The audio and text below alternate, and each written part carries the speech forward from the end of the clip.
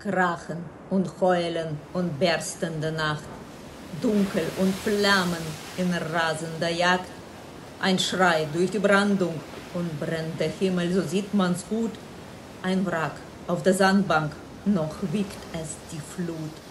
Gleich holt sich der Abgrund, Nisrandas lügt, und ohne Hast spricht er, da hängt noch ein Mann im Mast, wir müssen ihn holen.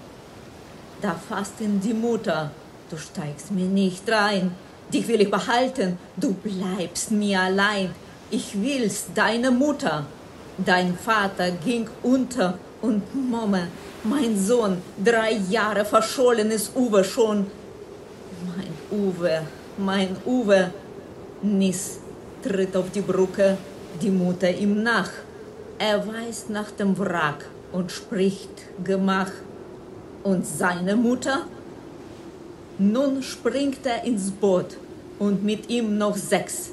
Hohes, hartes Friesengewächs. Schon sausen die Ruder. Boot oben, Boot unten, ein Höhlentanz. Nun muss er zerschmettern. Nein, es blieb ganz. Wie lange, wie lange mit feurigen Geißeln peitschen das Meer, die menschenfressenden Rosse daher. Sie schnauben und schäumen wie hechelnde Hast. Sie zusammenzwingt, eins auf den Nacken des anderen springt mit stampfenden Hufen. Drei Wetter zusammen, nun brennt die Himmel. Was da? Ein Boot, das landwärts fällt. Sie sind es, sie kommen. Und Auge und Ohr ins Dunkel gespannt.